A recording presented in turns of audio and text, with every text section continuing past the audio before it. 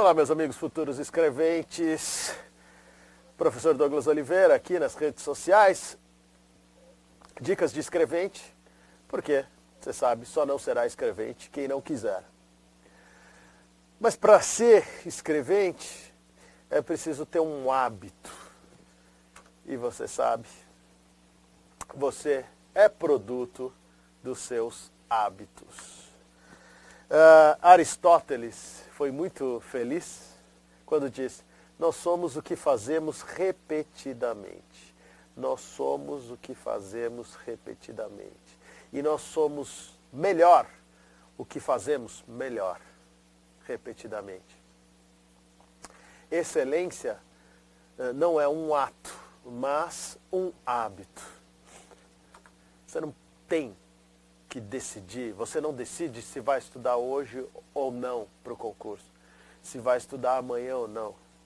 Você decide se vai ou não prestar concurso, se vai ou não ser funcionário público. É isso que você tem que decidir. Decidiu? Eu quero ser escrevente? Chegou a hora do hábito. Não é um ato. Não é um dia de estudo que vai te tornar escrevente. É um hábito. E esse hábito que começa com um dia, depois dois, depois sete, depois trinta dias, depois dois meses, três, seis meses, depois um ano. É isso que vai te tornar aqui, como Aristóteles disse, excelente. Você precisa atingir a excelência, você precisa ser excelente na prova. Não basta ser mediano, não basta ser mais ou menos, você tem que ser excelente. E a excelência não é um ato que dura um dia, não é um ato que dura uma semana, não é um ato que dura um mês, dois, três. É um hábito. É um comportamento repetido, reiterado até a posse. É isso que te torna excelente, que é o que você precisa ser na prova. Então, meus amigos, olha só. Se você estuda todos os dias, você tem um hábito, e deixou de estudar um dia, não se culpe por isso. Você não é definido por esse dia de falha. O teu hábito não foi atingido. O teu hábito é de estudo, diário, consistente, insistente, persistente, pensamento positivo até a posse um dia não vai te fazer mal. É como a dieta. Você faz dieta.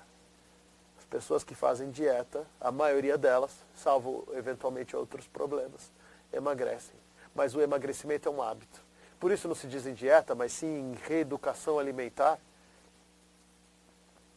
Se você não faz dieta um dia, aquilo não vai atrapalhar o seu desempenho. Você não será definido por esse dia de falha, que alguns nutricionistas chamam de dia do lixo. Né? Olha, pode, um dia você pode, refeição livre, você pode comer o que você quiser. Não é isso que vai atrapalhar a sua dieta. Ah, alguém li isso em algum lugar aí na internet. Não é o que você come entre o, o Natal e o Réveillon que vai estragar a sua vontade de ir à balança não é o que você come do Natal até o Réveillon. É o que você come do Réveillon até o próximo Natal. Esse é o hábito. Agora, se você estudou somente um dia na semana, quais resultados você espera comer? Se você fez só um dia de dieta, se você fez só um dia de exercício físico, quais são os resultados que você espera com isso? Então, meus amigos, aqui o papo é sério. Decida se você quer ou não quer ser escrevente. Você já sabe, você já assistiu os outros vídeos, sabe que para mim querer significa muito mais do que isso. Ah, eu quero. Quer, senta e espera, vai ficar esperando eternamente. Querer significa muito mais. Para querer precisa ter o hábito. Mas então decida. Você vai ou não vai ser escrevente? E não tem nenhum problema em dizer, não, eu não vou ser, eu não quero. Não quero mais concurso, eu desisto, paro por aqui. Não tem nenhum problema. Desista agora. Não perca mais seu tempo. Agora, decidiu? Eu quero? Eu vou? Vai ser escrevente? É isso que você quer? Está convicto? Então, a partir de agora, não decida se você vai estudar amanhã ou não.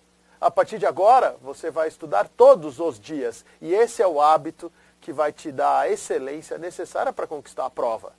Veja, você já decidiu, serei escrevente. Não tem mais que ficar pensando se vai estudar sábado, domingo, feriado. É um hábito daqui para frente a ser construído, que começa devagarzinho e vai aumentando, aumentando, aumentando, aumentando, aumentando. Não volta para trás. E lembre-se, estudar, que se dizem é, galgar degrau por degrau, muitos esquecem de dizer que é uma escada rolante que você está subindo enquanto ela está descendo. Se você parou de estudar um dia, o que, acontece? A escada rolante te leva para baixo. Dois dias, três dias, você está no zero. De novo, meu amigo. Está no zero. Estudar é remar contra a maré. Parou de estudar, a maré te leva para a praia de novo. Estudar é subir a escada rolante que está descendo, no sentido contrário. É uma luta todo dia. Mas vejam, é um hábito. Não é agora mais para decidir se vai estudar ou se não vai estudar amanhã ou depois. Você vai estudar todos os dias até a sua aprovação. E depois que provar, não precisa estudar. Depois que tomar posse, posse, não depois que ser aprovado, não precisa estudar nunca mais na sua vida. Eu encontro com alunos e falo, que são escreventes, falo, e aí, você vai fazer o TRE? Né? Porque o TRE ganha mais, porque o TRE, porque o TRE pode ser para analista, vai fazer o TRT para analista?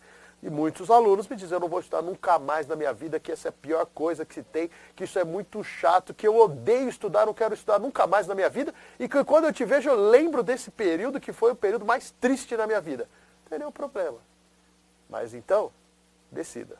Faça justamente como esses caras. Mas esses caras falaram que não vão prestar mais nenhum concurso depois que são escreventes. Depois que já tem garantido X mil reais por mês sem nenhum perigo de ser demitido, perigo, vamos dizer assim, como ocorre na iniciativa privada. Então, meu amigo, é hora da decisão. Decidiu? Agora é hora do hábito. Não tem mais que ficar pensando se vai ou não vai estudar. Se vai no cinema ou se vai estudar. Se vai jogar futebol se vai estudar. Agora é o hábito do estudo que vai levar à excelência, que te vai levar à posse no cargo. É isso, meus amigos projeto Dicas de Escrevente, porque afinal de contas só não será escrevente quem não quiser. É isso aí. Beijo, abraço e até a próxima. Tchau, tchau. E aí, galera, gostaram do vídeo? Então, inscrevam-se no canal, ative as notificações, deixe o joinha, dê o like e também, claro, os comentários e as sugestões. Até o próximo vídeo.